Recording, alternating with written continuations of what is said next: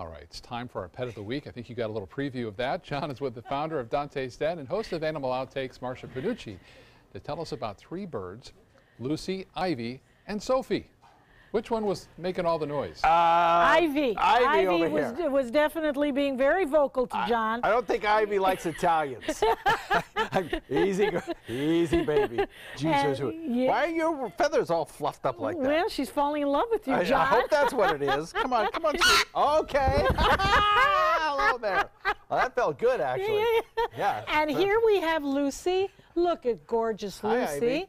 And uh, here we have Sophie. Now, these birds come to us from uh, the Birds of Paradise, and they are a private foundation uh, that takes care What? of these birds. And in Bird Talk, What? all of these birds, John, are, are very young. They are, right? Because They- they, they- could live to be, you know, close to 100, right? Yes, so we've got a 20-year-old, and we've it? got a 10-year-old, and I think we have about a 15-year-old here. And all of these birds that you see are available for adoption. And uh, they're, he's, I'm telling you, she's fallen in love with you, She's John. speaking. She's talking She's to me. talking She's to you. whispering nothings into my ear right now as we talk. I, I can't make it. What are you? What are you saying? What are you saying? She's, She has a vocabulary. well, of course she does. That's impressive. Yes.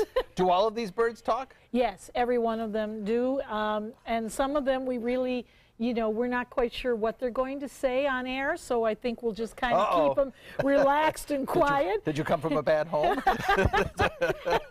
because as you know, it, they pick up the environment Yeah. of the home that they're, They're in. so smart. Oh, they really, are really, so really are. smart.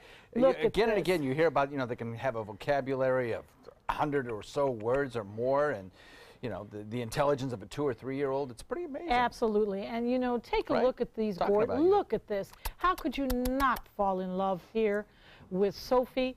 And uh, look at that beautiful crest that she's got.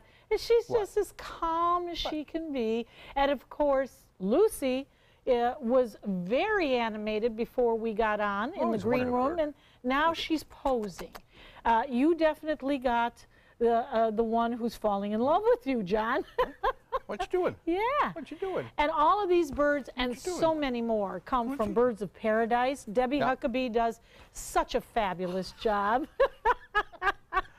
and uh, That's so cool. So uh, they, they can get in touch with uh, uh, uh, Birds of Paradise, Birds of Paradise.